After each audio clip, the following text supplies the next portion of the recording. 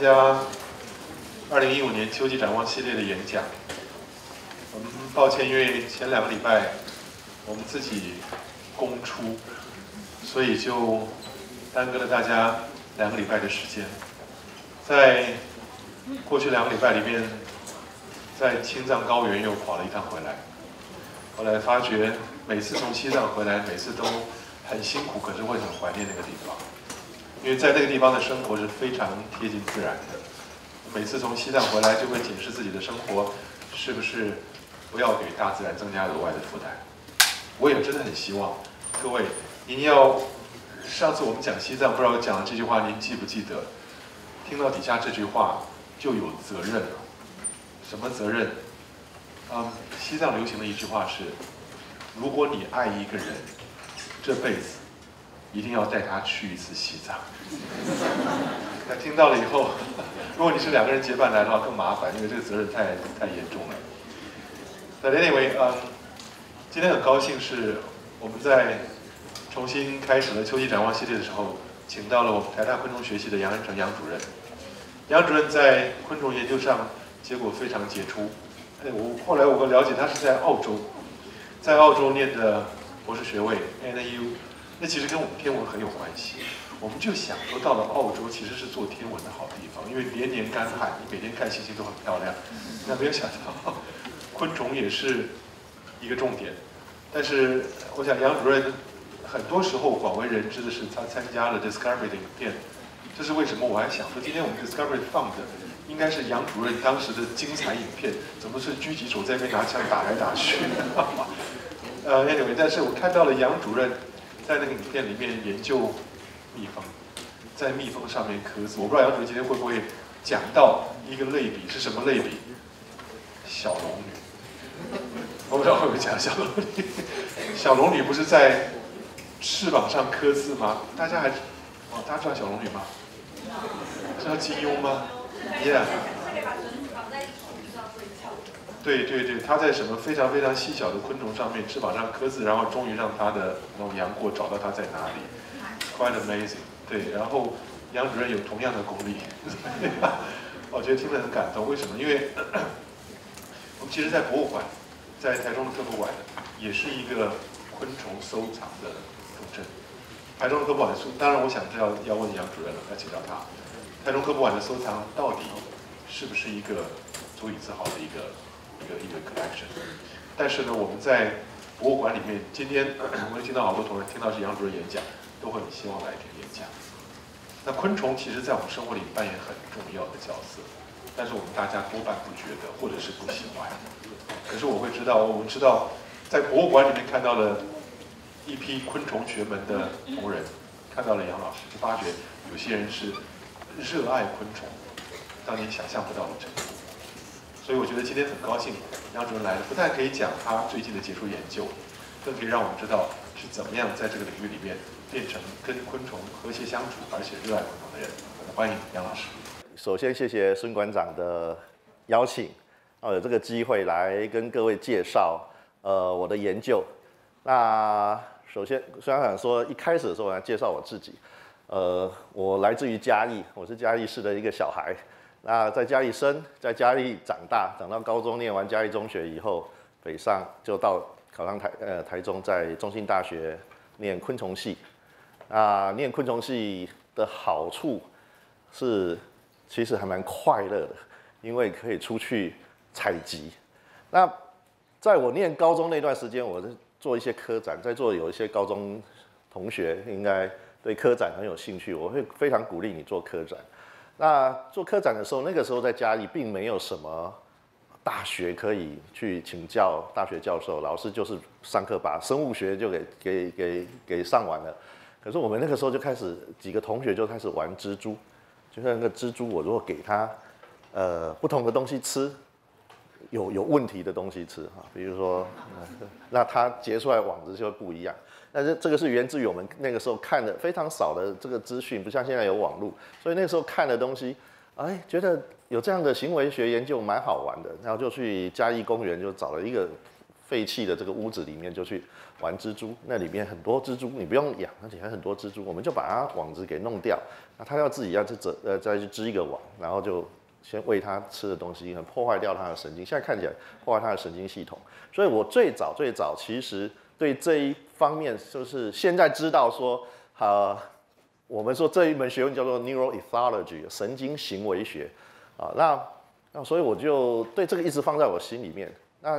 去看那些资料，那个是我爸爸，因为呃以前《时代》杂志会有那个那个出成一整本，还精装本的的这种什么动物行为什么什么各种主题的，所以所以我爸爸在我在我这个这个很小的时候，他呃要念国中的时候就送我那一本，可是那时候看不懂，到了高中以后看了那一本之后，我对这个非常非常有兴趣，所以除了行为之外，我们看了他的行为，我就想要去知道。怎么样造成这些行为？他他的神经系统是怎么样促使这个行为发生的？所以这个就是一直在我脑袋里面。那有幸的去念到昆虫系以后，说啊，好，太好了。可是那个时候，昆虫不是蜘蛛，我当然要去做昆虫了。所以我就就在昆虫上面有很多呃看法。因为在念书的时候有很多看法。诶，这个地方其实我们教科书事实上没告诉我们为什么。那你一直会去问，可是你去找资料。在那个时候要找资料是相当相当困难的，不像现在你 Google 一下 keyword 下去，啪啪啪就出来一堆的，所以要读也很难读。呃，所以念完大学四年之后，立刻就发现一个问题，我的兴趣就在行为生理、行为学跟生理学，我想要知道一些行为上的机制，它的神经机制就是我我非常喜爱的。那那个时候在台湾昆虫界里面并没有。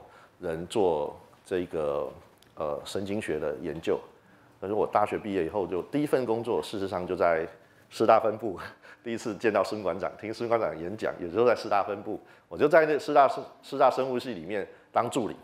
我的老板是吴金一教授，他那个时候刚开始，他本来是他是医学博士，他刚开始要做昆虫的眼睛的反应。的电生理的反应，哇！电生理对我来讲，我我一看，我觉得这个真的是太太呃，跟我的兴趣太契合了。因为我们一天到到晚就说，哎，神经反应是怎么样怎么样，可是没有机会去做做记录。可是到那边当助理以后，我就可以有那么贵重的仪器，然后在那边做记录。啊，一年之后，我就我就申请到奖学金，我就到澳洲去。啊，因为在台湾有一点基础，所以到了澳大利亚国立大学去之后，我老板。给我一个题目说，哎，你念硕士就这个东西，你把它解决掉。如果三个月就把它做完了，所以我三个月以后我就直攻博士了。那三年以后就拿博士，所以比别人快了一点点。因为那个是我兴趣所致，所以有时候做事情就是你喜你的你你你喜欢的，你就会特别特别呃热衷。那刚才孙馆长提到说，我们练昆虫了，我们学昆虫有很多就是非常热衷，一辈子就是喜欢。把这个科里面的各种各个属各个种给鉴定出来啊，他抓到一只小小昆虫，我们看起来它的几加糖啊，对不对？他不是，他把它当成当成宝物。所以我今天下午因为因为细物的关系，我在我要把系上一些空间推修好式的空间清出来，那个旧的空间我进去看，因为要清，我就看到对我来讲，我觉得。啊，这个实在是淮安未来一定会把它，淮安未小组来一定会会会说我们不及格。可是当我们要清走的时候，天哪，那些爱好昆虫，我们那些爱好昆虫的同学就说不行，这个宝物我要这个我要这个，他们就会去抢。所以这个就是我们学昆虫的一些热忱，他可能花掉一辈子都很喜欢在这上面。那我自己，呃，在这个投影片，我是前一阵子 Facebook 最喜欢又会看到一些图片，就是说，哎，别人认为我什么，比如说。啊，人家可能认为我的同学、我的朋友可能都认为说，我们学昆虫的就是拿了一个昆虫网，对我们是拿昆虫网去抓虫，没错，但是没有这么 funny 的这个知识哈。那这是我妈就会认为说，啊，你学昆虫就杀虫剂以后可能去，哎，当除虫公司，哎，他希望他他他怕我没有没有饭吃，哦，那有人认为做蜜蜂，我可能就会去搞这个东西，呃。可能大家会认为说，我们学昆虫的都会懂很多虫。对不起，我我很多虫的名字我叫不出来，哎，我叫不出来。我知道它是什么类的虫，但是我不见得我叫得出来。那做分类的就很多。其实我实际上，实际上我做的工作是这个，而且是我想做的，就是我要去看它行为，我可以去训练蜜蜂，你知道蜜蜂是可以学习的，我可以训练它。等一下我会有影片会让你看到它学习的状况。那我我做电生理，我要去看它脑里面神经的反应，去探索它脑里面怎么样去去解释这个这个世界。可是实际上我在做什么？我偶尔也要去治疗树。上次在科博馆跟孙馆长报告说，刺桐，台湾的刺桐树事实上得了一种叫刺桐幼小蜂，这个是外来种，然后就产个虫蝇在上面，就就那个叶子就坏掉了，然后光合作用就没了。我们台湾大学的那个总图。图书馆前面有很多刺桐，当时也是出问题，也受到感染。啊，我就用一个方法，我就给它打针，啊，就给它打针，把农药打进去，系统性农药打进去。每年三月，我们实验室就得义务去做这个这个研究。如果做完了哈，做成功了，这本来是林务局计划，做成功了他就不给你钱了。所以这些这些老树，这些列管的老树，事实上还是非常非常的珍贵。那没有钱怎么办？我们还是要去把那些老树。给保下来，所以我就全就就全省整个台湾就从头跑到尾我们知道哪些有有列管老树，我们都三月的时候就要去确定说它的药呃在它体内的药还在，那这个这个刺痛药小蜂不会当它冒新芽的时候就已经没有光合作用了哈，所以这个是 what I actually do 好，那这个是 what I think I do 好，刚才提到我的我的我的成长背景，所以所以从小我就。想说，我想要去去去研究这个行为，可是你看研究行为，当然第一个会出现一个问题，就是那你怎么知道他看到什么，他闻到什么？这个感觉神经生理的部分就很有趣。这个是一九七六年 Kurzweil 这个一位德国的教授他的一幅画，他说如果我们会有复眼。那我们就可以看到，比如说苍蝇看到了，但是这个复眼的解析力，这个空间解像力很差。如果那个空间解像力要跟我们人一样的话，你这个复眼的直径要一公尺，哦，你才能看得清楚，不然的话你就看得模模糊糊的。所以我今天的题目就是探索昆虫感知的世界，和以视觉跟磁场的感受机制为例。很抱歉，不是要讲蜜蜂消失，所以今天没有刺青的那个、那个、那个。呃，小龙女的那一招，其实我我我其实也没有看过小龙女怎么刺，但是反正我知道有人刺青，哎，在我在开车的时候就想到这这这个方式，呃，但在小龙女是把字刺在这个蜜蜂的翅膀，哦，绝情我在绝情谷底，那我吃的是八扣的，哦，所以我知道知道这个还要用一个 reader，然后用电脑去把它读出来，那杨过当然还是看。字比较快，他也没有八扣，他已经看不懂我吃的东西。那是视觉里面，我主要是会 focus 在色觉，因为还有很多，因为包括形状视觉那部分我有研究。那今天时间关系，我想我就在视觉上面会大量的放在色觉上面，所以我们来探讨一下，可能各位会比较有有有兴趣。看得到颜色的，请举手。哇，大部分都看得到颜色，对不对？那。有没有人感受到磁场？有感受到磁场举手。后面有啊，有人可以感受到磁场。啊，李世成校长非常喜欢你，你可以跟他联络看看。李嘉维教授跟我讲说，事实上，在美国有人有人研究，也，有些人可能会感受到磁场哈。不过一般我们感受不到不到磁场。我会定这个题目是因为颜色，事实上这个世界并没有颜色哎。可是你感受得到，你看得到，磁场是是是，地球上就有这个磁场啊，有这个东西呀。可是你感受不到，所以感觉神经生理，感觉神经生理跟行为这上面，哇，多好玩的一个题目，这是我一直很喜欢做的题目。好，所以从视觉上面来讲，我们都有眼睛，但我不用再问，哎，有眼睛的举手，或者没有眼睛的举手，这些都是眼睛。你看眼睛，这个我们比较熟，对不对？好，那好了，这是复眼，很多不同眼睛。所以我要问各位一个问题，我每次都先问这个问题。我们都知道有眼睛，可是什么是眼睛？什么是一个眼？一个器官，你要把它定义成叫做 eye，你怎么定义？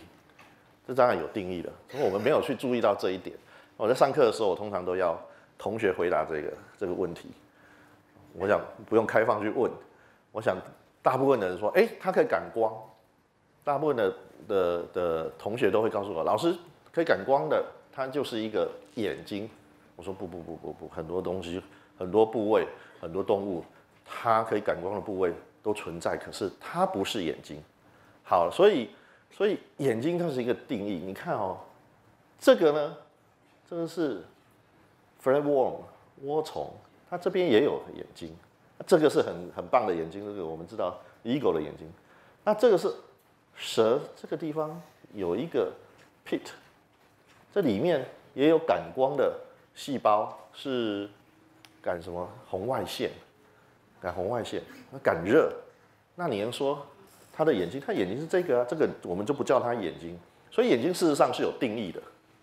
这个定义就是它可以形成，但是它必须能感光，这是先决条件。它能感光，可以感光，但不一定就是一个眼睛。一个眼睛必须具备有空间视觉 （spatial vision） 哈，这个空间视觉。他说它是具有可以比较。来自于不同方向光亮度，可以比较来自于不同光亮度的一个好一个器官，它的具有这样能力。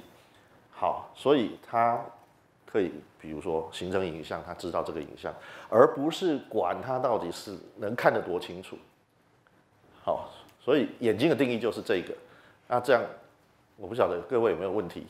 眼睛，那这样很多东西就是眼睛喽。刚才说的涡虫，它上面这个体壁就凹进去，那这上面会有一些光感受器，有神经，不同的神经连接着这个光感受器，所以光从这个地方打过来，这边的光感受器产生反应；光从这边打过来，这边，哎，它可以分辨来自于不同方位的光线。不过它形成的影像当然是不好，但是。可以分辨，那我们的眼睛当然不用说了哦。复眼这是我有兴趣的，那我怎么知道他看到什么？他看到什么？这是就是不大容易，我们不大容易去去去去看出来的。所以复眼辨识是我在做昆虫学研究里面我最喜欢、最喜欢、喜欢探讨的一个问题。复眼是可以形成影像的，它可以分辨来自不同方位的光，那。这个就有趣了，这是我日本一个有呃好朋友哈，叫 Kentaro Arikawa，他在年轻的时候就做了两篇 Nature，他以为很简单，他说从此之后就没有了，没有 Nature 了。他当时年轻的时候他就发现了，他说这个叫做在日本的柑橘凤蝶，公的母的虫子交尾器，这是雄性的交尾器，这是雌性的交尾器，这是阳具。注意看，这有 P one P two，这有 P one P two，这个位置都有。这个 P 这是 photoreceptor，是光感受器，它在交尾期那边就有光感受器，要干什么？其实很多鳞翅目这些蛾啦、蝶啊都有，因为它交尾的时候，阳具进去，它必须要确保密合，没有光进去了，这个光感受器两边光感受器都不会再有光漏进去了。这个时候，雄虫的精包才会开始输送。你要说这个眼睛吗？不是，可是他们交尾好像也不能啊回头过来看，所以他们就发展了后面有这么一个光感受器做这件事情。好，这个不是眼睛，好，我只是举这个例子来给各位看。那我们的眼睛是这个样子，这个是复眼的，好，那复眼说我们如果去类比的话，哈，它也有我们有我们有视网膜，那也有一些呃。这个光感受器，它也有光感受器啊，它光感受器在后面呢。那光学结构呢，它也有，它这个光学结构也有啊。所以，所以复杂度其实还蛮复杂的。如果看结构的话，我可以稍微跟各位介绍一下这个光感受器。它复眼之所以为复眼，就是有很多小很多小眼聚集复合而成的一个一个眼睛。所以它每每里面就每一个单位，我们称为我们 T D 啊，就是一个小眼。每个小眼它有一个光学的部分，光学部分这边有 lens，有有这个聚光，把光收集进来，然后聚光聚到中间这一段，通通都是所谓的光感受器。这是细胞，这些细胞是神经细胞，它后面就有神经的传导的这个这个轴突出去了，所以它在这边会产生产生神经的反应。然后把讯号往后传。好，那如果我们横切来看，每一个小眼把它横切来看，就变成这个样子。这个光呢，说聚到中间来，这中间来，那旁边这一半一半的这一些都是光感受器，也就是说是光感受器在圆心这个部分靠近圆心这个部分的细胞膜，就变成很多皱褶。这皱褶里面呢，有感光的蛋白质、感光的色素，就会在这个地方，所以它聚到这个地方，然后引起这每一个感光细胞的反应。这个在电生理上面就可以测到它的反应。好，这个是很有趣的。那每一个细胞呢，对于各种不同的波长感受的程度、敏感程度都不一样，所以我们可以用电生理去测量每一个细胞，插到一个细胞里面。哈，这个是我的硕士论文，来做做一下。我们老老师说叫我做两年，我三个月做完了，因为我在台湾已经做了一年助理，会做这个了。哎，插进去以后，你就很容易用不同的波长、不同的亮度，就光的刺激。你得到了它的光谱感度，好，这个是比较呃清楚的看。那解像力，一个昆虫它的复眼的对空间，它到底看得很清楚还是看不清楚，看得比较模糊，决定在两个小眼之间的这个夹角。好，所以昆虫大部分看得很不清楚，非常不清楚，非常不清楚。我们可以看到它们差不多，呃，比它们看好上百倍的清楚，所以。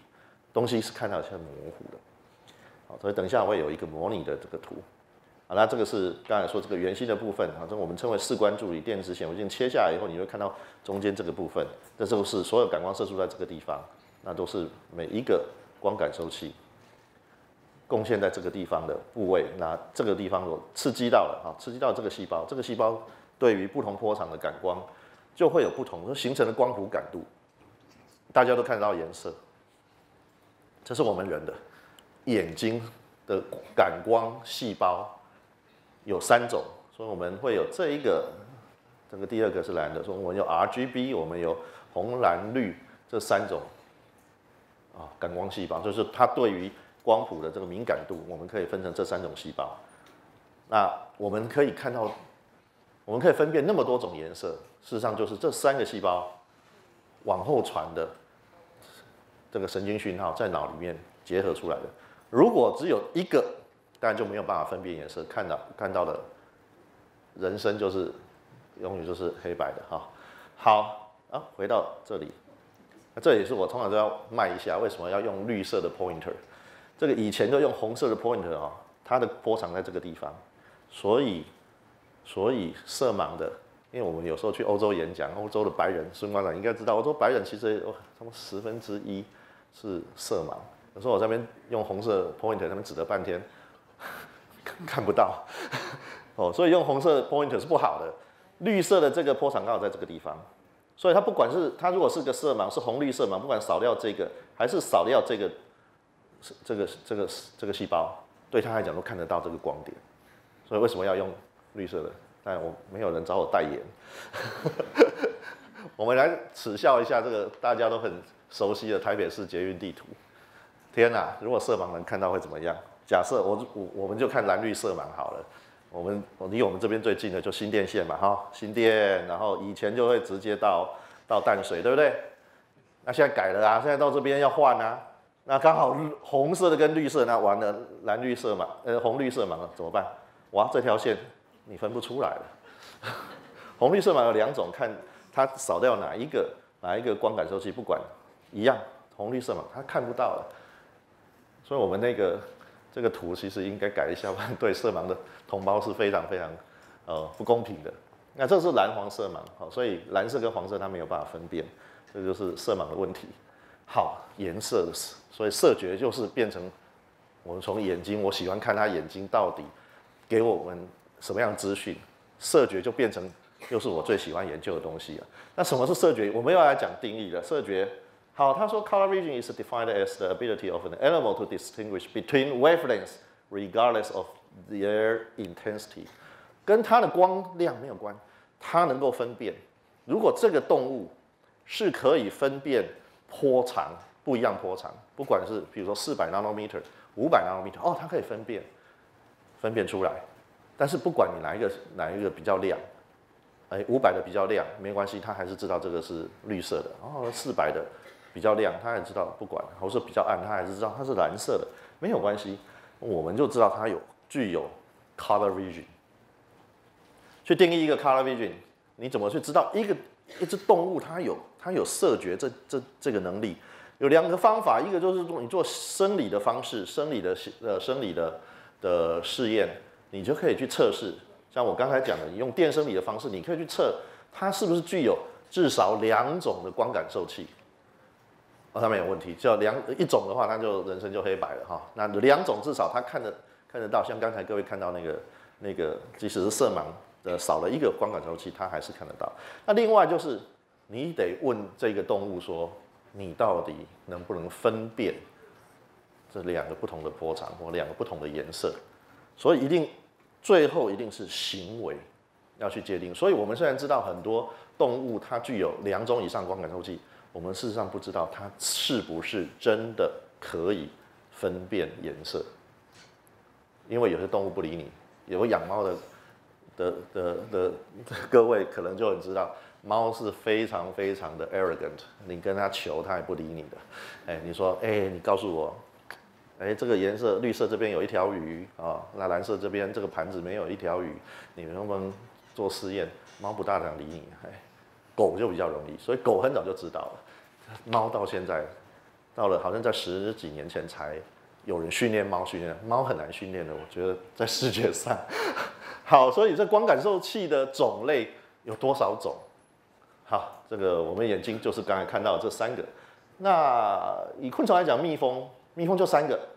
哦，这个是紫外光的，这是蓝色光的啊，这个是五百四十 nanometer 的绿色光。鸟就有四种，那昆虫真的只有三种嘛？哦，呃，脊椎动物我们来看一下，脊椎动物可以看得到，在演化上面，其实到鸟它有四种，可是另外一只呢，从这个爬虫爬虫类一直到到这个这个早期的。这哺乳类，哎，四种就变两种。后来到了猴子的时候是 over monkey，我们是属于 over monkey，开始多了一种，就是我们现在有三种。这个是我们现在目前所知道的。那我们看不到紫外光哈，可是早期的还有鸟类这些，它事实上对紫外光是敏感。所以，所以以前在我念书的时候，都都觉得说啊，昆虫才可以看到紫外光。后来，呃，近二三十年，它大部分的研究出来，发现我们灵长类是少数看不到紫外光的脊椎动物。好，那回来看昆虫，这是用蝴蝶上面来看，哎，有三种的，有四种的，有五种，哎，它的色觉好像比较厉害哦。我们有三种，对不对？所以是不是越多种越好？这个问题，我们用这个这个图来做来来解答。三种的话，这个蜜蜂我可以训练，然后它可以告诉我说，它对于不同波长的分辨率，也就是说，我如果训练它，比如说这个是四百 nanometer，我让它认得这个四百 nanometer，先不管它的呃那个行为实验怎么做，然后我就开始调另外一边的给它的光，就调四百零一 nanometer，四百零二 nanometer，我要调到调到一定的。好说，像这个的话，就是最低就是四个 nanometer，它就可以分辨出来了。那这一边呢，它有五种，哇，它不但可以看的啊，它可以一个 nanometer 它就可以分辨。所以下次看到那个蝴蝶的时候，我们要要对它尊敬一点，它可以分辨一个 nanometer。那男生跟女生在心理学实验室，女生对颜色还蛮敏感的，这件衣服颜色。跟那个颜色差一点点，他就换另外一件了男生哦，青菜哈，呃，太太在问他说，穿这一件比较好看，那个都一样。所以那个人家有量出来，心理学有量出来，那个男生对对对这个颜色非常非常不敏感。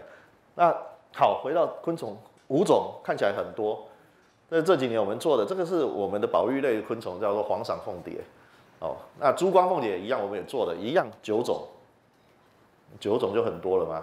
最近我们跟刚才我讲的那个日本日本老师，我的好朋友，我们在在合作这个这个这个叫做清代凤蝶，十五种哎，十五种哎，要这么多种干什么？然后他的眼睛真的这么好吗？他的色觉真的那么好吗？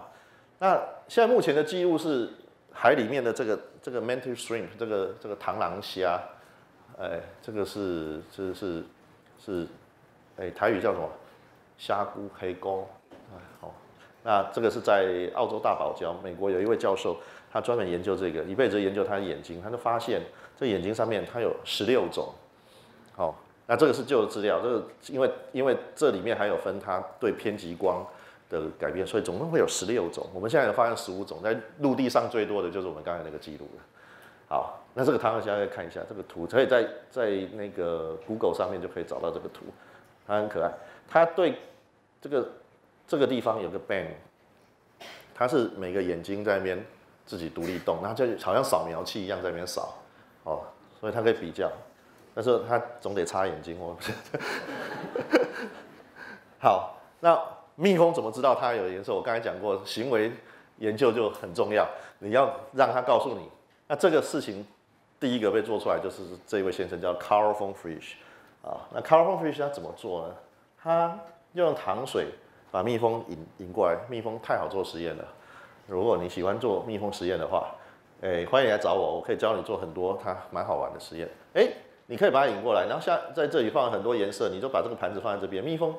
这个蓝色的地方，它每次来，但你可以换，一直换位置。它每次来就会认这个地方有糖水可以喝，它就会学起来了。然后呢，然后呢，做完了，你还要做这个实验。刚才还记得那个 color vision 的定义吗？你必须要排除掉，不是因为亮暗的关系，不是因为这边亮暗的关系，所以各种不同灰阶、不同的亮度，你就可以让它很清楚。哎，它还是来自这个地方，那你就可以认。哎，这个就。他就拿诺贝尔奖了，没有，他拿诺贝尔奖有三个东西非常非常重要。这 Carl von Frisch 一九七三年拿诺贝尔奖，他第一个就是大家熟知的，就是跳八字舞，蜜蜂跳八字舞很好玩，呃，不大容易看。不过我最近想要帮动物园那边建一个观察箱，然后希望可以以后小朋友去那边就可以看到蜜蜂跳八字舞，啊，我们是常看的，他说看他不想看，那他跳八字舞或圆形舞，哦，那他就界定出来说，哦，如果是距离这个蜜源如果超过一百公尺的，它跳八字舞；如果在一一百公尺比较近的地方，它就跳圆形舞。他当时就把蜜蜂给用颜色点在上面，他没有像我用刺青的，他用点颜色的。好，他点颜色的话就可以看每一只来那再来就是他鉴定的说，蜜蜂具有色觉。另外，他也证实了昆虫是可以看到形状、分辨形状。你可能呃今天没有。办法在这边多做形状的那个研究的解释。不过我可以告诉你，你摆这个样子跟摆这个样子，蜜蜂分得清清楚楚。一条这样的线跟这样的线，哦，这 orientation 差。那我们也也也也去看了。不过它的这个这个这个行为实验告诉我们，加号跟乘号，蜜蜂是不会分的。所以三乘五跟三加五对它来讲是一样的，它没有办法分辨这样跟这样，这两个对它来讲是一样的，因为它只有三条。呃，三个 orientation sensitive neuron，它对形状视觉最敏感的三的神经只有三个。我们对不同的角度的线，通通都有神经在脑袋里面，它只有这样跟这个样子跟这个样子，就是一个叉叉再加上一个重的。那这个后来我跟我的好朋友的东海大学卓一鸣老师，他做蜘蛛，我我就跟他讲说，这个可能就是为什么我们看蜘蛛网上面会有影带，都是这个样子的。哦，这个话我们就发表一篇文章去解释这一块，非常 match，你就把它的这个引带的这个角度拿来量，然后然后去看这个 orientation sensitive neuron，我做出来那个蜜蜂那个是我做的研究发表的，你把那个角度放出来一放，完全 match，所以演化上面因为蜘蛛要吃我的蜜蜂，好，所以我就兴趣是脑里面是发生什么事情，所以我们就看脑里面，那看脑里面就总是要去做。做它的反应，所以电生理就是我我的我的一个一个武器。刚才说的，如果在光感受器这个地方，你插了一个电极进去，你给它一个光，你可以得到这样的反应。然后如果在这个地方，我们称为 lamina，在眼睛的光光感受器之后，这个神经就往后传，传到另外一级的神经呢，这边你插了一个电极，你同样给个光，哎，它反过来变这个样子。哦，这是 depolarization，这个 hyperpolarization。好，可是再往后呢，得到的都是这个。那这个没什么，你给它什么光，只是强弱而已，它不会分辨颜色。这边你找不到找不到可以分辨颜色的神经。所谓可以分辨颜色神经是什么？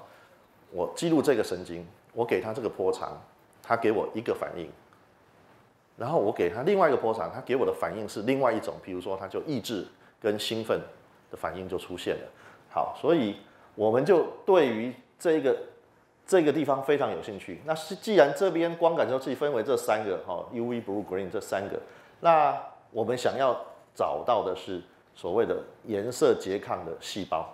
可以分辨颜色的神经，那这个我们就简称西欧系统，就 color opponent cell。那这个地方就不好记录。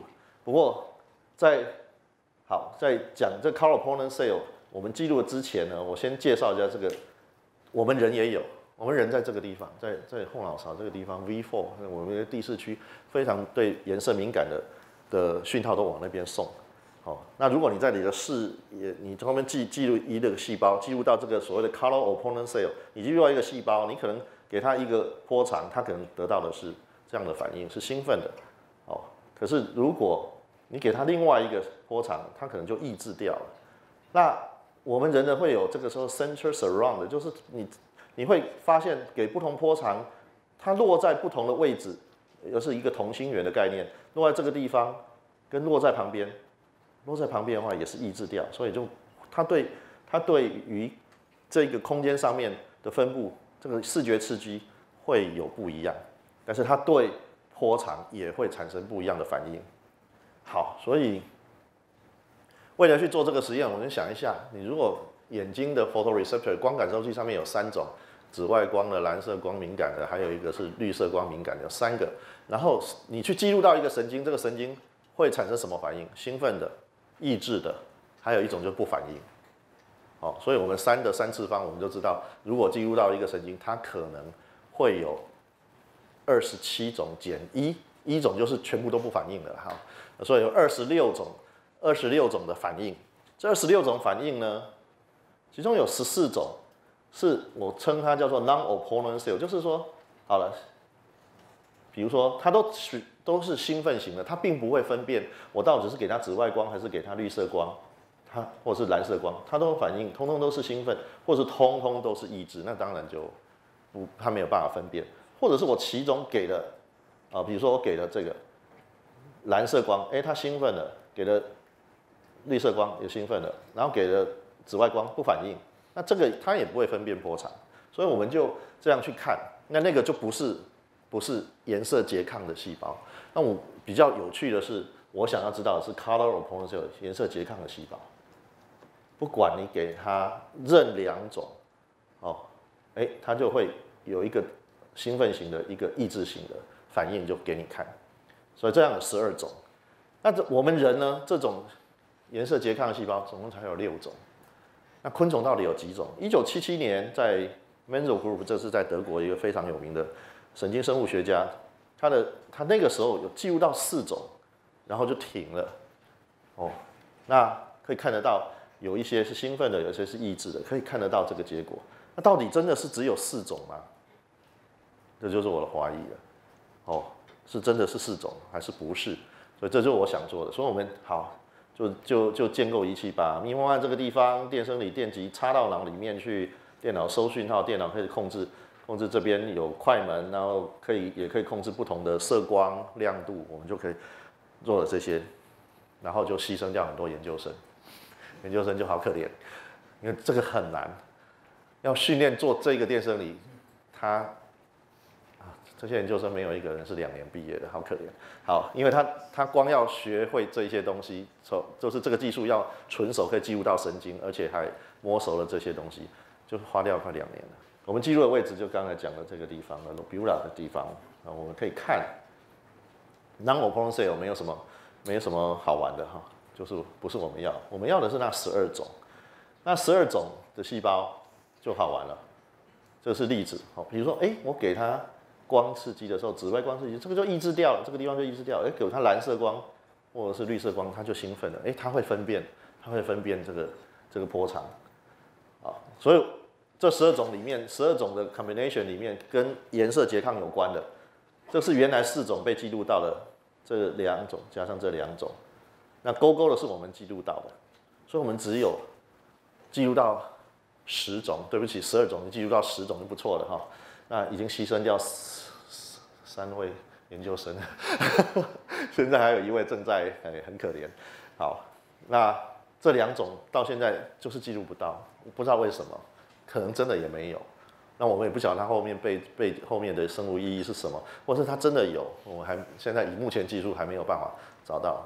所以现在那个所有的研究生，我我当然不是要他补这两个，我现在是要他把这些细胞记掉了，我就要希望知道他脑里面，他怎么让他脑里面去去去去延伸他的这个讯号到哪里，嗯，到他的 mushroom body 到他可以记记忆的地方哈，所以这个是比较有趣的，是我们正在进行的。故事到这边，另外一个故事跟视觉有关的，不过这就有点形状的意味了哈。形状视觉也是我有觉得有趣的。那通常我们知道昆虫会看到紫外光，然后诶，长期以来我们就被教育说，嗯，这个花呢是我们看起来是这个样子，可是花会。有反射紫外光的部分，比如说这个比较白的，这是用一个紫外线呃紫外光可以感受的这个 camera 去拍的，然后，这个就是可以反射紫外光啊。中间比较暗的这个就没有，那形成一个 pattern 就变成变成是一个叫 net neta guide，就是它的密标哦，所以好像蜜蜂就飞过来了，然后就看到，所以都以为很多人都误以为说蜜标就是紫外光所造成的 pattern，没有蜜标。这样可不可以看？如果他这样可以看，也知道这是密标啊。哦，所以密标不能不能说是用紫外光，这个观念已经是落伍了。不过以前被教育的时候就被被告知说，哦，这个密标就是因为它有紫外光的反射的差异，然后这个蜜蜂或者是蝴蝶它看得到紫外光，所以它的哎没那么容没没不是那个样子。那更何况如果你去把所有的花都拿来，你去用紫外光去拍哈，紫外光的 camera 去拍。你真的可以拍到这个这有反射紫外光的部分吗？其实只有少数的花才有，哦，所以那个观念不是不是太正确。我要先讲这个故事，就是回到我刚才讲说这个做蜘蛛，从从高中做蜘蛛，可是我开始当助理教授的时候，那时候在中心大学服务，那我的好朋友这个东海大学卓一鸣现在是院长，卓一鸣老师呢，他他做蜘蛛，他做这只蜘蛛，他的蜘蛛都吃我的蜜蜂。很奇怪，它就是吃很多虫，可是白天都吃我很多蜜蜂。蜜蜂，嗯，就在这个地方就挂了，挂了就随便他吃。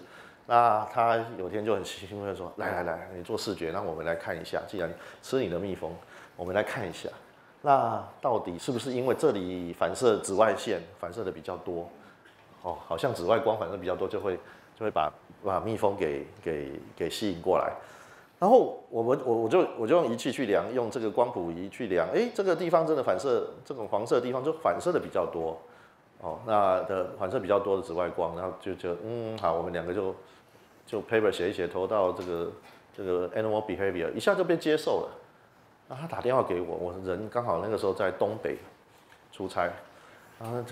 坐车坐六百公里都快死掉了，然后他打过来，哎，安成，我们这个 paper 已经被接受了，好高兴，怎样的？哦，好好好好好，挂了。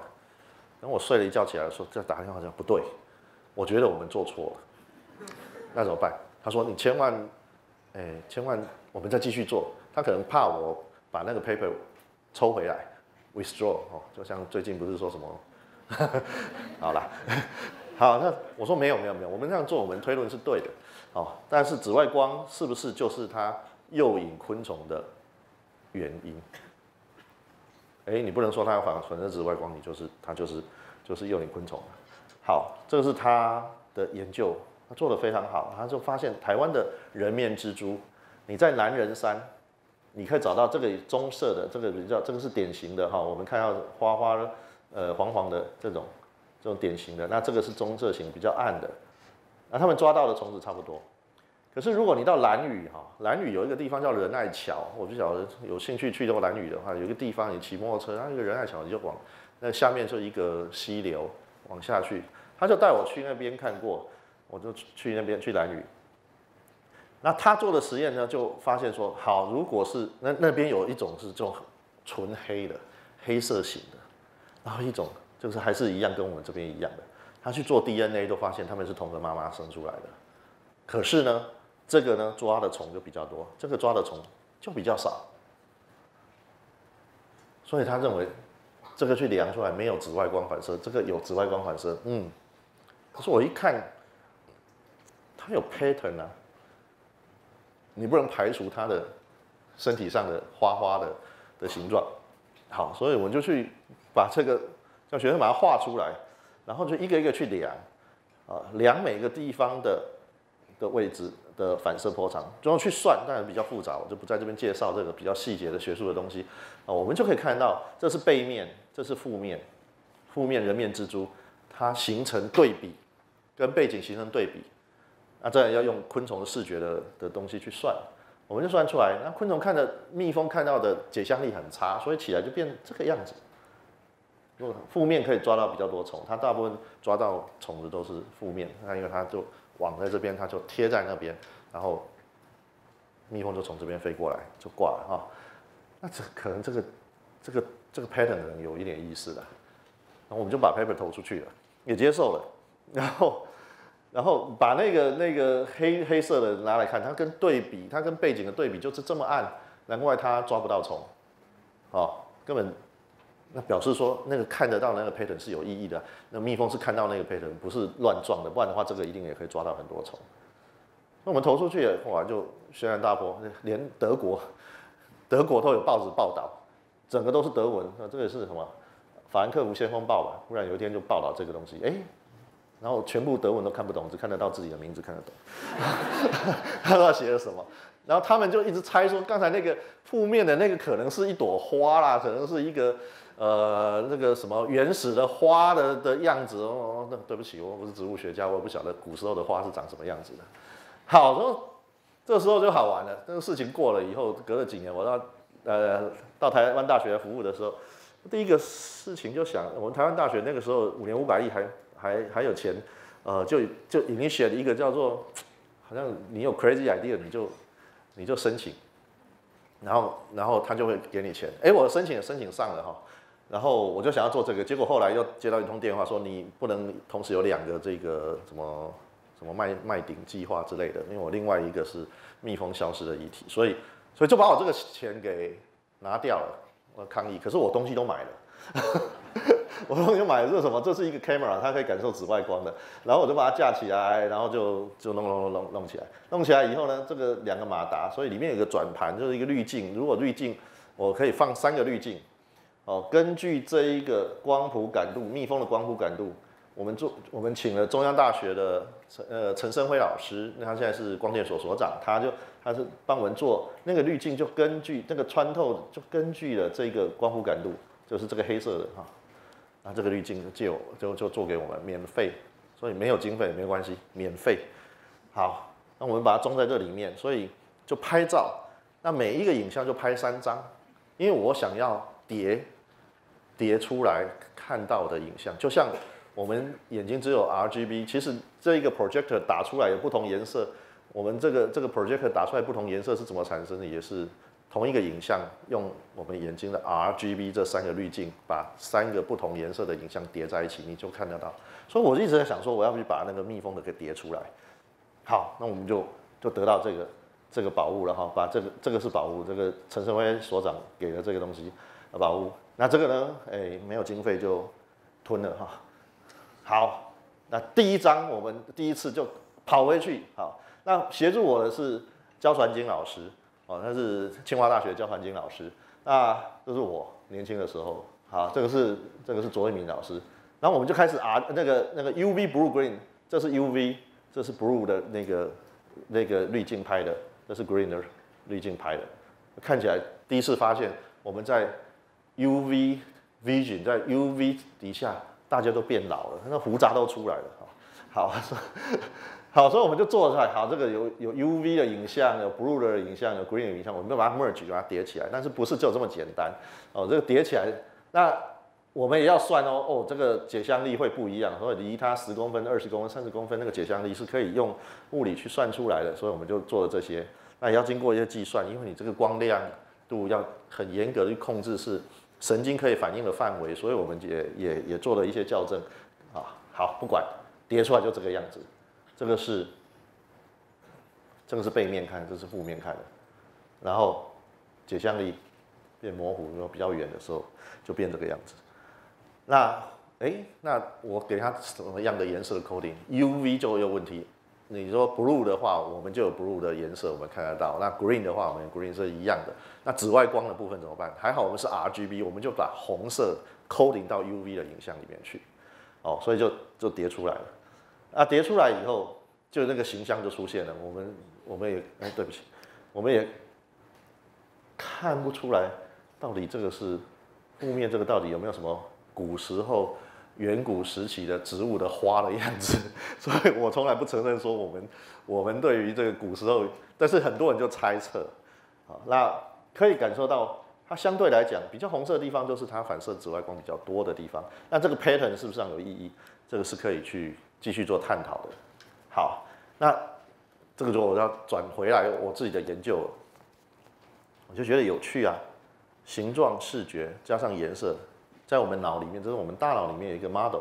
比如说我们大脑里面视觉，哎，可能是有这个 motion 的，有一个形状的，或者是形状加上颜色，或者是 motion 跟东西在动，你都可以感受到。那颜色本来是形成对比，形成对比，形成形成一个一个 color contrast，其实就在呈现一个形状。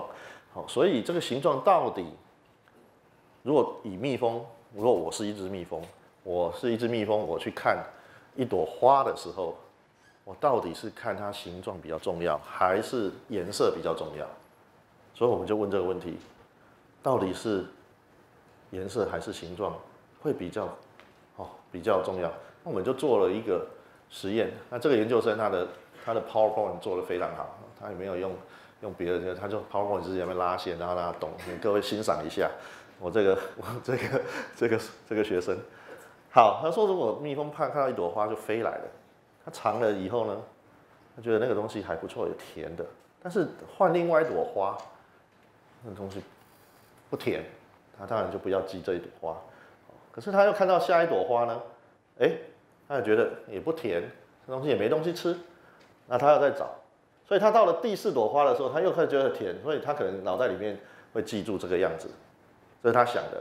但是很快我们就会发现一个问题，那请问这一朵？到底是甜或不甜？好，那是不是我们我们蜜蜂是不是这么笨呢？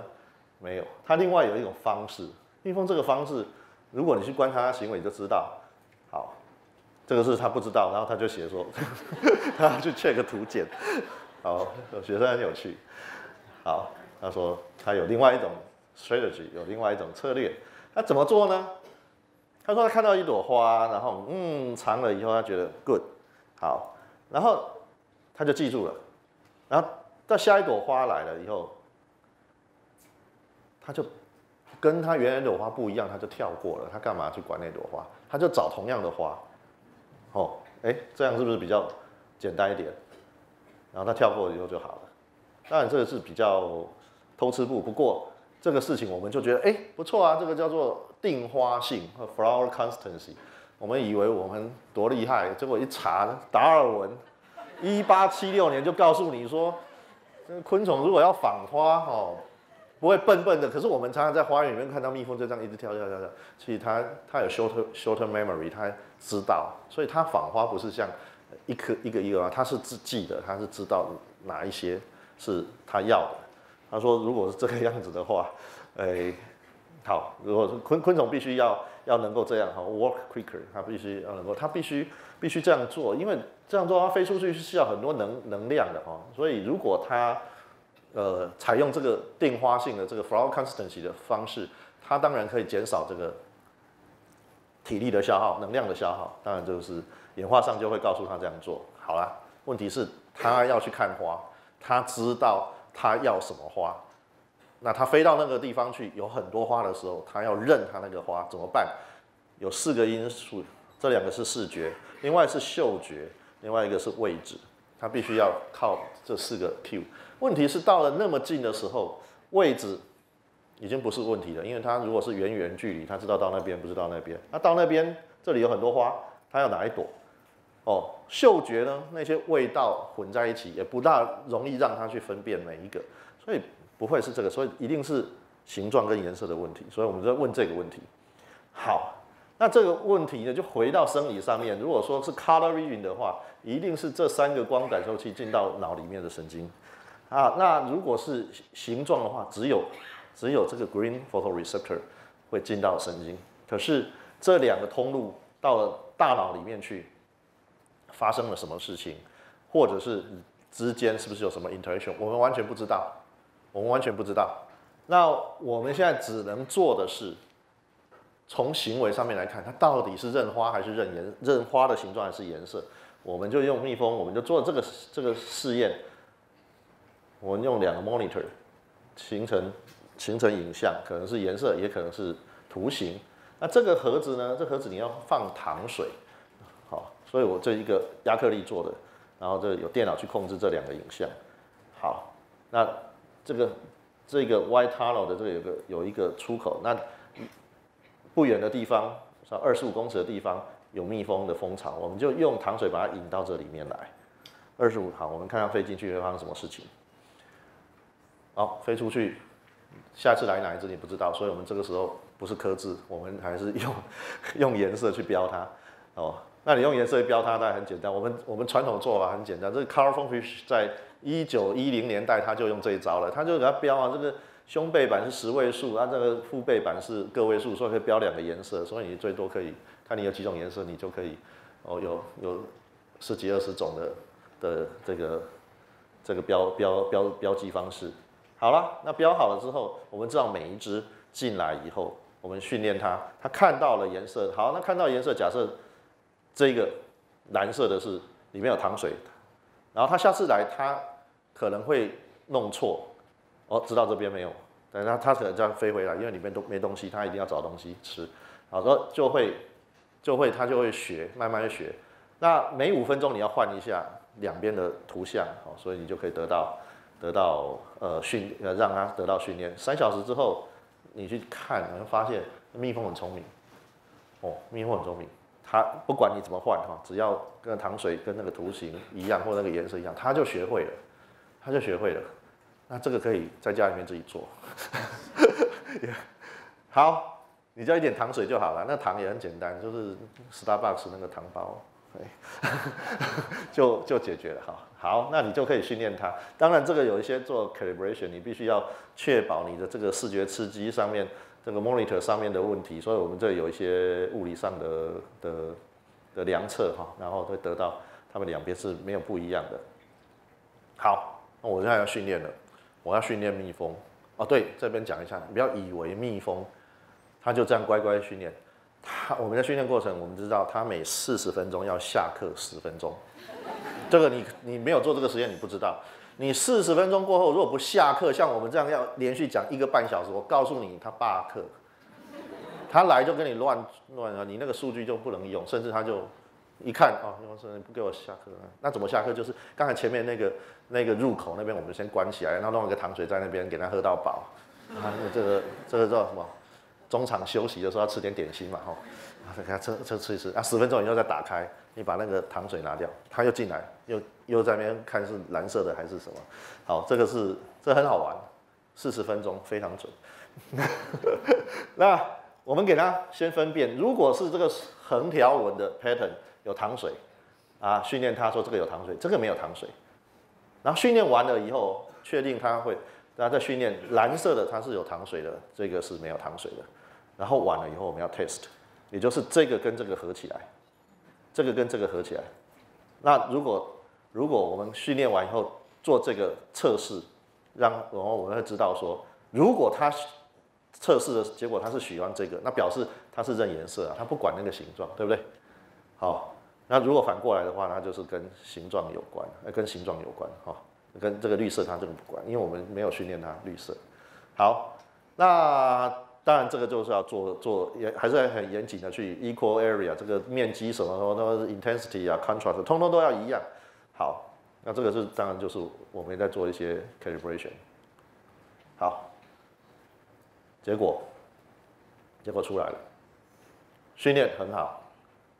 他知道这个有糖，训练完以后知道他这个有糖水，一喝起来他要它，他不是要它，他要颜色，哦，他要颜色，然后呢，我们再玩，回到原来这个测试，这个测试完了以后再测试再做一次，反正他还没死，哎，他还继续来，哦，我们看，哎，还不错啊，他还是认得他哈，他还是认认认识他是有糖水喝，所以这个还蛮有趣的。好，所以我们就有一个简单结论，就好啊，它可能那个形状是 doesn't matter 哈，但是后面哎还好啦，它它还是还是可以记住，虽然比较短一点，还是可以分辨。那继续啊，那做到这边，我学生就说他要毕业了，这个时候我就说，哎，哦是这样哦，那你有没有测试这个完了以后，是不是要注意一下，先测试一下颜色，你先训练它颜色嘛，然后训练你你你那个结果可能跟这个有关。哦啊，或者是你的你的这个 learning order，或者是你的 innate preference，因为蓝色事实上是蜜蜂蜜蜂天生最喜欢的颜色。好，那是不是因为它的关系？所以你你通通都要去把这个因子排除。然后他就拍了一下头，就像科比一样，好拍头，然后就说：哎呦天哪！好吧，那我们就就就再要呈现的结果就是说，好，如果是先先形状，然后再这是有糖水的哦。那测试完以后，就是他喜欢的 pattern 是在下面哈。然后我们就看，总共他就要做完，为他拍一下头以后做什么事情，要做这么多，各种不不同的可能性都要做完。啊，做完以后，哎，还蛮好玩的哦。一看哦，哇，果然蓝色是他比较他的天生比较喜欢颜色哦，他还是百分比会比较高。那绿色你去训练它，它也是会会会学，不过在测试的时候就六十几而已哈，就不会有到那么好。所以蓝色还是它 innate preference 是比较喜欢，而且训练是比较容易。那绿色的话就是比较低，所以我们得到结果说好，这个是他喜欢颜色。那颜色从训练上面它也是比较容易学习，形状它比较不容易学习。好。那我们有有有有就想啊，写 paper 就要想说要，最后你这个故事要掰一个故事哦，怕怕人家不接受我们的这个这个说法，我们就说啊，在远古的时候，反正这个没有 color vision，那后来这个 color vision 是后来才演化出来，这是确实。那如果我们要从蜜蜂的角度来看，他看到好，这是他喜欢的花，然后呢，所以他记住了颜色跟形状之后，如果他下一次来。形状改变了，风吹日晒雨淋什么的，然后他再来的话，可能颜色会提供他一个比较 reliable、比较比较确实，或者是比较可信度比较高的的一个一个讯号。好，这个是我们的的形状颜色的探讨，它的感知世界是这样。把我们校长请出来了，然后再来我要讲我后半段的，就有关于磁场的部分。那因为要做这个，刚才跟各位报告，因为要做这个蜜蜂蜜蜂消失的议题，那我是负责农药哦，最这个农药到底怎么样去影响到蜜蜂的健康？那当时就是校长呃他说这个是世界议题啊，啊那我们台大要进百大，世界议题一定要要加入，所以就找了有兴趣而且在做蜜蜂的，在校园里面养蜜蜂的人。我们就被拉进去了哈，那校长很好，给我们呃指导，然后有有这个这个经费，但是因为蜜蜂消失，那就想到那蜜蜂在导航上面出现的问题。我们到一个陌生的地方，我到日本，我到东京，我我都不懂日文。虽然我姐姐住在北海道哈，所以我到东京以后，我也不懂日文，她懂，我至少有人问。那如果你有 GPS，大家都很好，你有 Google Map 很好，可是对于昆虫来讲，它怎么看蜜蜂？它怎么看？蜜蜂呢？它靠天空上的可能太阳的位置。如果太阳被乌云遮了，它可能靠偏极光产生的天上的一些 pattern，或者是它看如果有一零一的话，它就看一零一，它知道那里有东西，那里有山，这个它都看得到，没有问题。所以 landmark 没有问题，但是它还有对磁场感应。那对磁场感应，刚才我一开始问各位。除了后面有两位，呃，先生是说对磁场有敏感哦，那其他大部分都不敏感。那磁场这个东西一直存在在地球啊，我们感受不到啊。可是我们我们长期以来很多科学家就对这个很有兴趣，你比如说我就去看了一下，开始去 study 这一部分，哎，哦，这个鸽子做最多，做非常多的这方面研究。鸽子，如果你把它的头那边绑了一个磁铁，会干扰到它。对磁场的判别，它飞飞回家的路径就会有问题。这个是海龟，海龟原来是走这个黑色的线，哈，就是它在这几个岛这边跑来跑去找东西吃。你给它没事背一个磁铁，它跑这么远，绕一绕，天哪！哦，所以那这美国的帝王蝶，美国帝王蝶是可以迁徙的，它每年因为从这个加拿大南部迁飞到这个这个墨西哥北部那个地方，所以它迁迁徙。这呃八月的时候我去美国，EPA 美国很担心，除了蜜蜂之外，这些授粉昆虫都在消失，其中一个也就是它。好，他们也想要保育这个，所以奥巴奥巴马给了很多钱在保育蜜蜂跟雄蜂跟这个这个帝王蝶。好，所以他也会。会会迁徙那么远的地方，它当然跟磁场有关，因为它必须要能感受到方位。那小昆虫呢？哎，这蟑螂、苍蝇或者是白蚁，哇，它们会不会有磁场的感受？我不能叫他举手啊，那他们那那有一个人就有几个人了哈，这是最早就是最早就是九九五年，哦，他们就开始这研究，他们就趁着它。晚上或者是休息的时候，给它磁场的干扰，用强力磁铁去旁边，然后围起来，然后在外面用强力磁铁去去干扰它。结果发现，它休息的就好像我们睡觉睡到一半会会转一个角度，它们也会。哦，这个实验还蛮好玩，等一下我再介绍我们蜜蜂做的就很清楚。所以长期以来，我们对于生物感受磁场这件事情是。是很好奇的，而且在细胞学上也有一些人做出来的。那我以下就介绍，可能有几个几个可能是在细胞学上它感受到磁场的。第一个哦，是它本身我们在细胞里面就有磁感磁的颗粒，或者磁铁，或者是磁性物质。好像这个就是细胞膜喽，细胞膜这边有个离子通道，也就是这个离子、钠离子、氯离子、钾离子可能会从这边进出。好了，那这个是感磁的，如果磁场产生改变的话，它会把它关掉。这本来是通道哈，那现在关掉。那这样的话，离子的反应在细胞上面就会产生呃很大的变化。那另外也有人提出另外一个 model，就是这是细胞膜，那事实上有一些颗粒在这个地方，可以把这个这个每个洞都是一个。离子的通道，那这个都是它的盖子，但是每个盖子呢都牵到一根感磁的东西，磁铁，哦，那磁铁就跟它牵了，所以当磁场改变，那弯过来这边的话，这边都打开了，这边都关起来；那弯过来这边的话，这边打开，呃，所以有人提出来这个。那另外一个叫超顺磁的 particle，super paramagnetic particle，那细胞里面充满着小颗粒，那这些磁性颗粒在里面，当磁场改变的时候。这个细胞可能被挤压成另外一个形状，被拉成好。那他们认为说，好，那这个可能跟细胞膜在这个地方里面有很多这个小颗粒，这小颗粒都都跟着跟着这个细胞膜连接，所以当这个磁场有不同方位的时候，它就拉就聚在一起或者是分开，那这个离子通道就会打开或关起来。这都是我们想象的，目前在猜的。好，那。目前这个有磁铁的这个事情呢，就是知更鸟，那也记录到三叉神经有电生理反应。那另外一个是红尊，也是一样，也是有这个磁铁被发现发发现，也是被记录到有电生理的反应。好，好，那另外一种是是化学的，它有一个蛋白质叫隐色素啊，critical 这个隐色素，这隐色素好了，我们就不要管这个结构了，我们直接看它它的它的。猜想的是，因为这个隐色素呢，它对光很敏感，然后它如果照到光以后，而且是要短波长的光哦，比如说蓝色的四百二十 nanometer 这样的光或紫外光照到的时候呢，这个隐色素对磁场就有就有感应，哦，就有反应。好，所以比如说一个鸟，然后这个这个还没有改变的时候。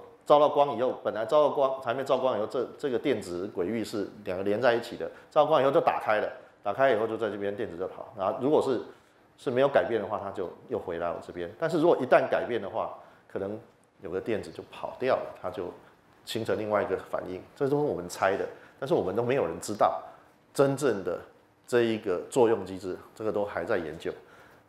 那好了，那谁是这方面的代表呢？果蝇。有人就去，这个是一个线圈，这是一个线圈，所以这边这个磁场的方向是这个样子，他就把果蝇放在这里面，里面给他东西吃，所以他这边给他磁场，他就记住了，记住完他学会了，好，注意哦，要打光哦，不打光他不会不会学。好，那再就打光，然后这边管子这边也通了通电了，这个磁场的方向两个方向就不一样了，也就去统计，两边跑跑跑，到最后，哎，他原来学什么，他就往那边跑，哦，那这个 critical 就被证实在果蝇里面没有铁颗粒，那这一些也都被认为说是跟 critical 有关，而不是真正有磁铁。蜜蜂呢？我们要问的是，那蜜蜂到底能不能感受磁场？然后用什么样感受？那个机制是什么？它的系统是怎么？这是我们问的问题。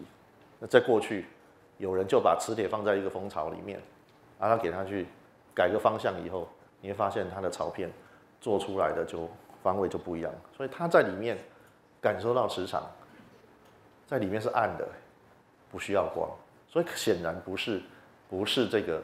这个 critical 在作用。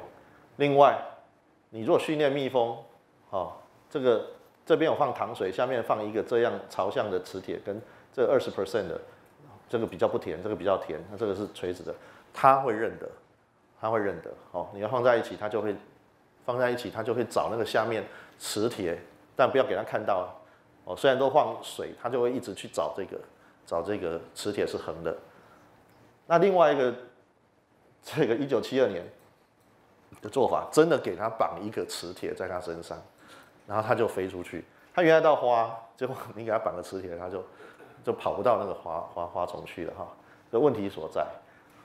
那蜜蜂可不可以像刚才我讲的蟑螂啊？你给它，它睡觉的时候，你再 给它改这个磁磁场，它会不会睡觉的时候就换？它事实上是睡睡不睡觉另外一回事，但是它体轴就会换另外一个角度。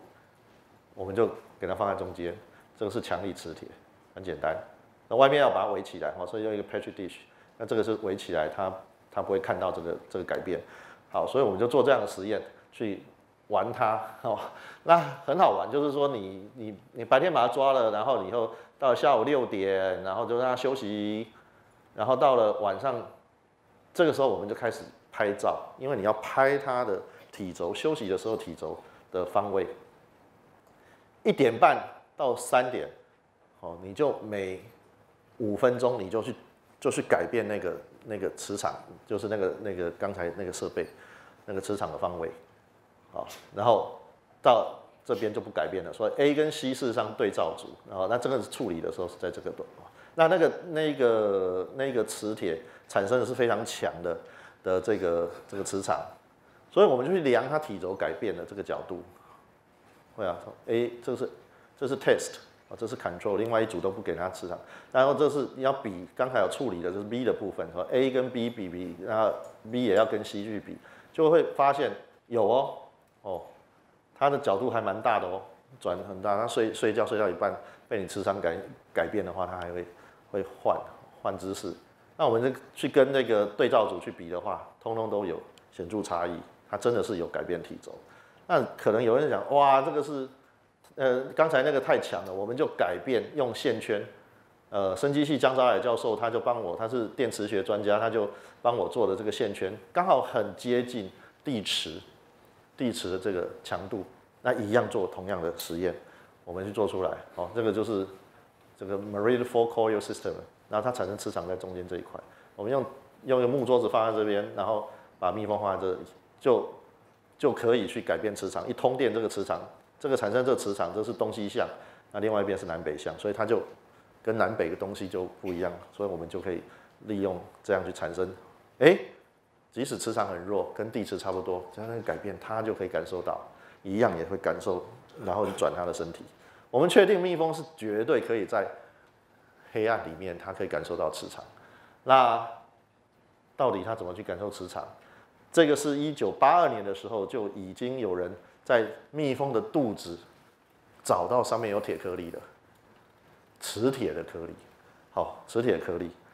那后来在九四年的时候，李家维教授啊，当时的博士生是徐景元老师，现在是长庚大学的呃的教授，他他们他的博士论文的时候就就发表了说，他们找到磁铁颗粒在那个肚子里面，然后而且它是有超顺磁的的现象。后来做很多细胞学非常好的研究，包括那个细胞会产生，如果磁场改变的话，它细胞内的钙离子的浓度都会改变，非常好。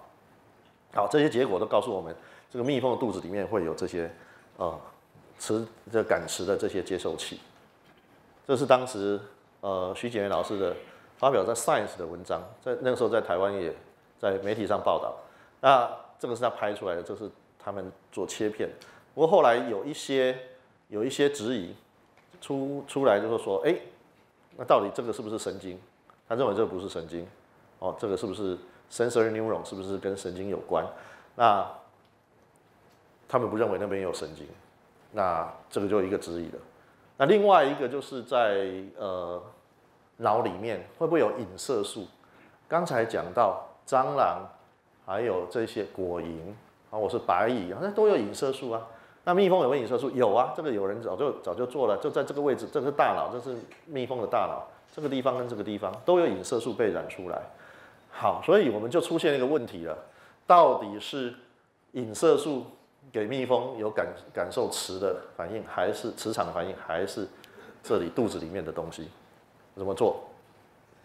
用很简单的，这下子就不是那个刚才叫蜜蜂自己飞来哈，我们就把它抓来，然后把它把它把它固定住。我们要给它做这个古典制约的方式。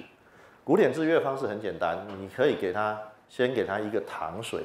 就像那个狗啊，你要先给它吃肉啊，先给摇铃铛，然后它再给它吃肉，以后你摇铃铛它就流口水了。那蜜蜂也可以啊，你给它糖水，一靠近它口气就生出来了。然后你给它一个味道，这个味道可能是醋，醋不是它要的，它口气不生出来。可是当你给它这个这个臭酸的味道以后，你再给它糖水，你下次给它，它口气就生出来了。好，所以我们要来看一下这个影片。所以你注意看一下，要注意在它的口气这边伸出来。那这个是吹味道的的管子哦，所以你要看到它。那这边如果开始有字的时候，表示这边是有吹味道，因为我没有办法显示这个那个味道给你看啊。所以，所以我们把时间那个下面的字，好，现在就吹一个味道。这个味味道以后，我们就给它糖水，给它糖水，所以它闻到那个味道，而且它同时得到糖水可以喝。所以这边字出来的时候，你要注意看看这边。口气好，你会发现它口气升得很强，它想它知道味道出来了，我有东西吃了。哦，这个是呃用嗅觉去做古典制约。可是我想知道的是是什么？是磁场。我可不可以把嗅觉换成磁场？它如果感受得到的话，那就好玩了，对不对？我就可以给磁场感应的话，看它的口气。好，所以我们来看一下这个非常难做的一个实验。好磁场你要看什么？要看它，它改变的时候就是磁场改变了嘛，对不对？啊，那磁场我们加了一个额外磁场，那你要看它的口气哦。好，好，现在先磁场改变，口气没有伸出来。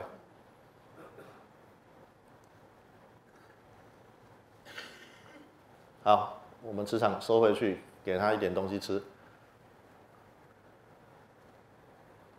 啊，他有没有学起来？我们等一下就看这边一动，我们就看他的口气。他现在已经收回去了啊。好，注意看，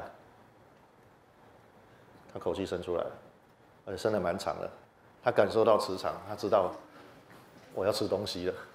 哦，所以他非常乖，比学生还乖。那做这个事情没有那么没有那么多那么容易哈。我们在做这个事情的时候，这个学生呢？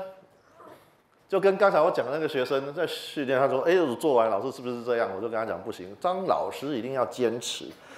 这个学生随便跟你讲完，说我这样就可以毕业吗？好像不行。但是这个又是另外一个一个一个例子。他做完，他第一天做完给我数据，他说：“老师没有啊，这出来数据都没有，一直被我训练出来的结果都训练不出来。”然后来了两三次以后，我每次都跟他讲说：“再努力，再努力。”然后。我心里也是自己纳闷，到底那么弱的地磁的这个能不能被制约？那有一天他就说：“老师，我觉得我要换题目了。”我说：“哇，啊，完了，不能再骗下去了。我就跟他讲说，好吧，你把所有的 raw data 通通都给我，反正你已经做了三四次了，我觉得这个数据应该就把它全部拿来，我来我来整个看好了。就我看了全部那数据里面，有两只其实是有反应的，只是你一平均起来没有。啊，我不晓得他是不是聪明。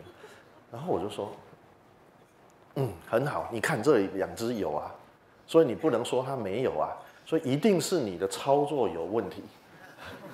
然后我心里就，哎，好，那这个时候我就跟他说，那虫子还在吗？他说在呀。我说。那你明天再继续训练，哦，不然的话要再重新抓虫嘛，每次都用新的，因为他每次都用新的，每次都重来。我说你第二天再训练，所以我就发现，第二天训练，第一天很少，第二天训练就拉起来了，本来不反应，通通反应。好，所以这个学习还需要时间，所以不是 不是说一触可及，我们第二天就可以训练出来，而且效果非常好。那这个时候。嗯，他高兴，我更高兴。好，所以我们就开始做了一系列实验，包括当时呃徐景元老师也有提到说，他这个花粉，呃这个铁肚子里面的铁颗粒事实上是由花粉来的，他吃花粉来的。我们就比比他的这个护士风，就是他还没有的内勤风，好 内勤风，我们就给他做，哎，结果他学的不好，他根本就不会学。那如果是外勤风，就学得很好，哦。所以我们就看他的学习曲线，真的护士那个内勤风、护士风都都是不好，可是如果是外勤风就学的还不错。然后我们再去看他的那个这个这些比，结果发现外勤风里面也有一些学不好的，一那个到第二天都学不好，第三天就死给你看了哈。所以他就那你总不能，所以我我我我不能勉强他嘛，反正就就你不行，我就把这边数据挑出来，哎，比较起来，比较起来是这样有差。有些就真的学得很好，然后我们也去比他肚子里面铁颗粒的含量，哦，这个可以用 ICP Mass 去看金属，所以很简单。那我就要回答刚才的问题了，到底是头还是肚子？到底是 Chris c r i s p r 或这个？那很简单啊，我如果把如果是这个的话，它讯号走神经，哦，那我是不是把它剪断就好了？那我同时也要证明说这个讯号是不是有神经传导，对不对？那我就把它剪掉，然后我在这个是要先训练，训练完以后剪掉以后，我就看，那我测试磁场到底，如果剪掉这里，那如果是 positive，那表示是这里，那如果是 negative 的话，表示不是，就是从肚子里面这边，不是从头这边过来。好，这是啊副 神经所在这个地方，我们我们的我们的脊椎在这个地方，他们是在。他们是他们的神经，中枢神经在肚子。那这个地方放大，我就从这边剪掉。那当然这只要先训练。好，如果原来训练很好，它都磁场反应都很好的话，一剪掉啪就没了，它就不反应了。那可能剪掉神经，你会觉得说，那他学习就坏掉啊。我就另外用嗅觉，刚才嗅觉的也让他学嗅觉，一剪掉。它还可以学啊，哎，它还可以反应啊。你嗅觉那个味道出来，它的口气还是生出来，慢慢会死掉啦。因为剪掉的话，它的呼吸，它的呼吸的气孔在它的腹部，所以慢慢慢慢就死掉。所以这个结果很好。剪掉这里没有的话，在嗅觉这边，你剪掉的话，它还是得到很好反应的，就立刻这样增长哈。那电生理的部分，我们刚才讲过，这两个知更鸟跟这个红尊都有。那我也想要去测，所以我们的电生理就把它插在这个地方，插在副神经所。很简单，坐了这个地方一样，请他躺在那个地方让我记录。哎，有啊，不错，不错，证实李佳伟老师他们当时的预测是对的，神经的确掌管了这一些磁场的反应。好，所以这个就是故事还在继续。那我们证实了这个地方，那这个 critical 要干什么？我们对它目前最清楚的是它跟日周律动有关。那在蜜蜂上面就不是像在果蝇上是跟磁场的感应有关，而是跟呃这个日周律动有关哈，所以这个是好，这我可怜的研究生，一个一个都好可怜哦。那这个都不是可怜，这个这个不然不能说可怜，这全部都是老师、呃校长，没有校长的经费，我们很难很难去去拓展这个一个新的部分。那这是我日本的朋友，这阿里卡瓦，这 Kenta 阿里卡瓦，这个是卓一鸣老师，这是陈胜辉老师，这个是卓一鸣，呃，这是焦文金老师，这个是帮我做磁场很多指导我磁场上面的的知识的这个江兆来老师。好，以上就是我的报告，那时间也差不多，所以在此谢谢各位聆听，谢谢。